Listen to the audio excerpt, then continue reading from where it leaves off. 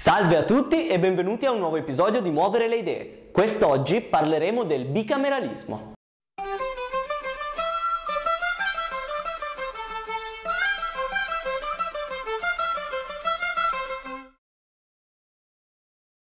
Negli ultimi tempi in Italia si parla molto di riformare il Senato, una delle due Camere di cui è composto il nostro Parlamento. Lo stesso governo Renzi ha avanzato una proposta in tal senso. Ma perché esistono due Camere e che poteri hanno attualmente? Sono veramente necessarie entrambe? Capiamolo insieme. Dalla loro nascita i parlamenti hanno avuto più camere, ossia più organi assembleari distinti in una Camera alta e in una Camera bassa. Il primo Parlamento al mondo che ebbe poteri reali fu quello inglese, che era ed è tutt'oggi costituito da due Camere. Una è la Camera dei Lord, che rappresenta la classe nobiliare ed è nominata dal sovrano. L'altra è la Camera dei Comuni, che era espressione della borghesia, ma che a partire da un certo momento iniziò ad essere eletta dal popolo.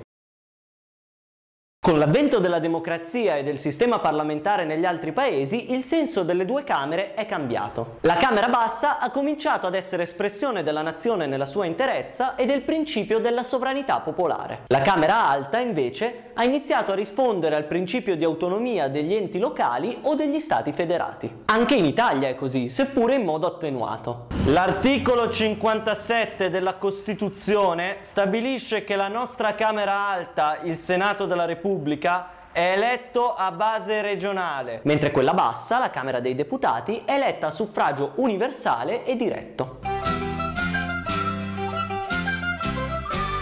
Ma se ci sono due Camere, come si dividono tra loro i compiti da svolgere? L'Italia è l'unico paese al mondo a prevedere un bicameralismo perfetto o paritario. Ciò significa che le due Camere hanno esattamente gli stessi poteri. Tutte le decisioni devono essere prese insieme da Camera e Senato. In tutte le altre democrazie vige invece il bicameralismo imperfetto, ossia le due Camere hanno poteri differenziati. La Camera bassa è quella che ha il potere più ampio, mentre quella alta ha solamente funzioni minori. Per esempio, soltanto la Camera bassa, tramite la fiducia, può decidere della vita e della morte del governo. Tagliatele la testa!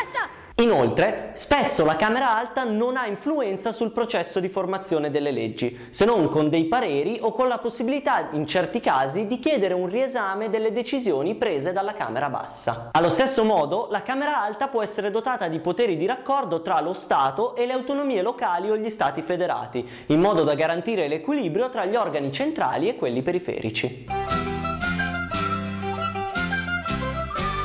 Ma il modello bicamerale non è l'unico esistente. È vero, è quello adottato dalle democrazie più popolose, ma la maggior parte dei parlamenti al mondo è monocamerale. Una sola Camera detiene tutti i poteri. Anche in Europa alcuni paesi come la Grecia, il Portogallo e la Danimarca hanno scelto questo sistema. Un pregio del monocameralismo è quello di rispecchiare il principio affermato con la rivoluzione francese dell'indivisibilità della sovranità popolare. Inoltre, una sola Camera permette di ridurre i costi della politica. Tra le ragioni invece che giustificano il bicameralismo vi è quella di evitare di concentrare troppo potere in un solo organo collegiale, creandone un altro che gli faccia da contrappeso.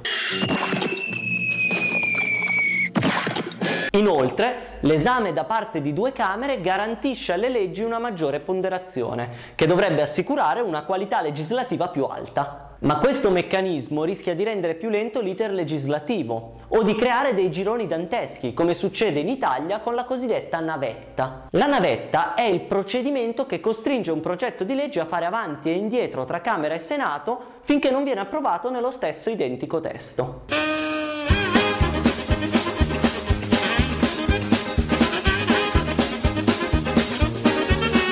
Ci vediamo alla prossima. Muovete le idee.